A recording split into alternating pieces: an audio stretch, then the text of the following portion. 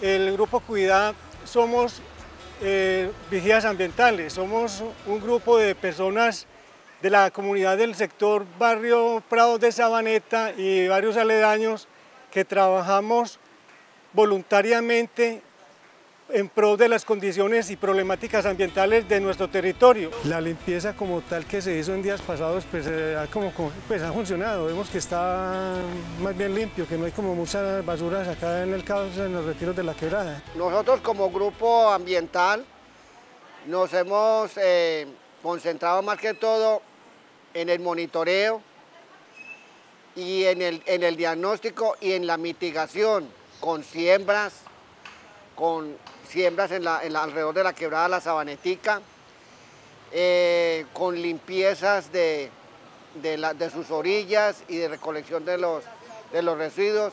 Somos multiplicadores de lo que se tiene que hacer a diario, digamos, del manejo y la preservación del medio ambiente, de cómo se deben de cuidar las quebradas, cómo debe ser el manejo de los residuos sólidos. La importancia de los grupos cuidar es que promovemos un ambiente sano, tanto en el aire, en el suelo y en las aguas.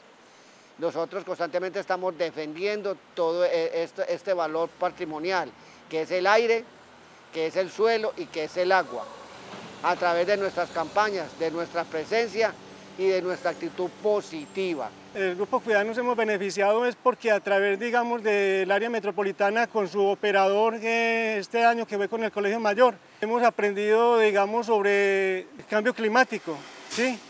¿Cuáles son sus ventajas, pues, sus problemáticas? Y cómo debemos darle solución también.